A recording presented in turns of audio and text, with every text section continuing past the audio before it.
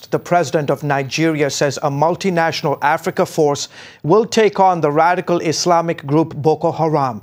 The group has killed thousands of Muslims and Christians in Nigeria and is responsible for the kidnapping of hundreds of schoolgirls from the Christian village of Chibok last year. President Muhammadu Buhari said Boko Haram would be defeated in a year and a half or less.